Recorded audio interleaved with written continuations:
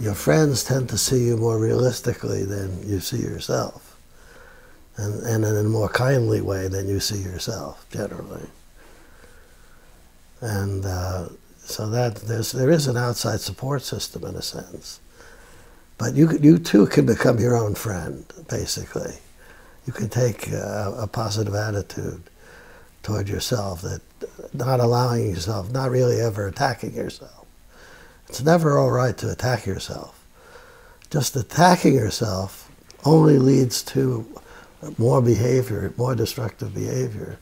It doesn't lead to anything positive. So it never serves a purpose to attack yourself.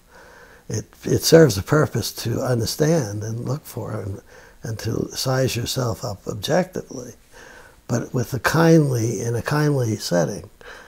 And you mentioned a therapy. The therapy approach can be applied here to the individual, toward himself.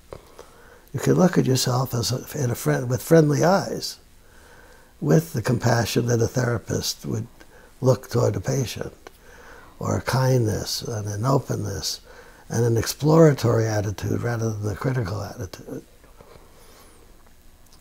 Yeah. It's a whole different approach. It's an approach that's inquisitive, that, that wants to understand rather than punish, be self-punishing, self-critical. but it's open to, mm-hmm. it's objective. It's not a build-up.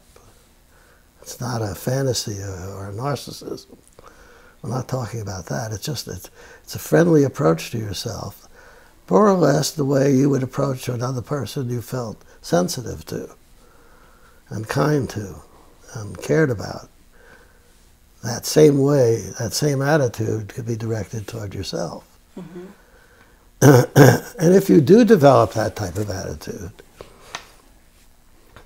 in a sense, you're not alone in, a, in, a, in, a, in that same way because you have a sort of a benign companionship just because of the way you're looking at yourself and, and sizing yourself up and, and just trying to understand.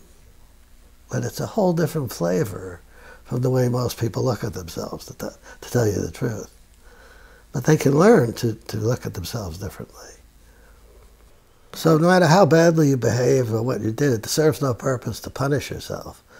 But it's very valuable to look at it objectively, try to understand what, why you behave that way, and changing, taking direct power to change behavior you don't like.